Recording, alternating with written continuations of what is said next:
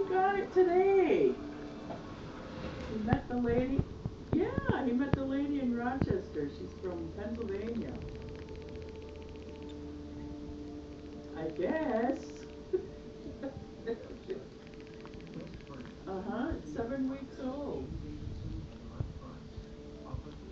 Yeah, she is. Her name is Cleo. Yeah.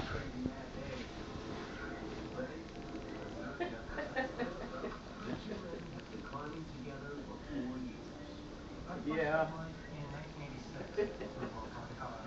yeah, I just saw her when I came home. Now he's gonna take her to the vet to worm her. Yeah. But Ray's been working with him and he's telling me all the things that that you gotta do, you know?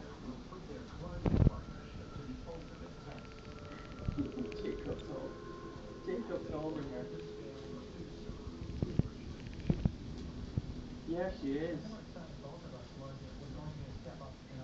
Oh, I don't know, maybe a pound, two, I don't know.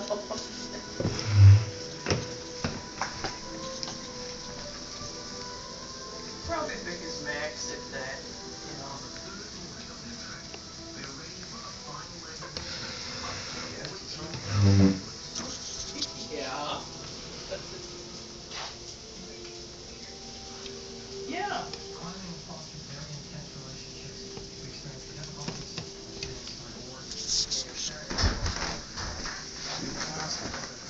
Well, today, we're supposed to get fifty mile an hour winds.